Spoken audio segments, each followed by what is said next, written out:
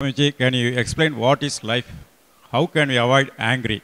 If you're driving in the Coimbatore streets, if you're driving in the Coimbatore street, you have to avoid uh, the medians which are in, placed in odd places. You have to avoid bad drivers. You have to avoid drunken men crossing the street, children crossing the street, all kinds of things. But when you're driving in Coimbatore street, do you have to avoid the moon? I'm asking, do you have to avoid the moon? No, because the moon is not on the street, isn't it? So similarly, right now are you angry? No? Then why should you avoid it? There's no need to avoid it. It is just that you think anger is an entity. Anger is not an entity. You become angry. You become angry.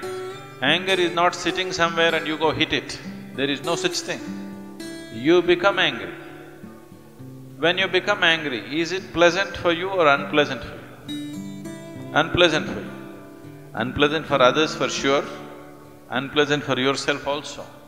Today, medical science proves to you, when you're angry, you're actually poisoning your system, you know. We have always known this, but today chemical tests clearly show you that you're actually poisoning your system, generating poison in the system by being angry. So, why would you want to poison yourself? It is not a conscious act.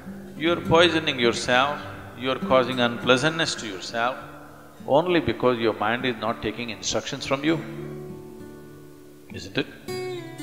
It is not taking instructions from you.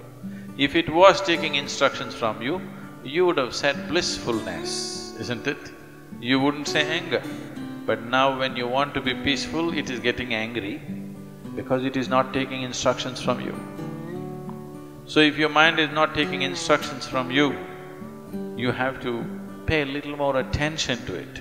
Why is it not taking instructions from you? If you understand this, you don't have to avoid anger because anger is not sitting there and getting at you. You are becoming angry, you are becoming unhappy, you are becoming miserable. These things are happening to you essentially because you have not done anything to take your faculties under your control. It is happening accidentally, just by chance. If outside situations are good, you are also good. If outside situations are bad, you're also bad.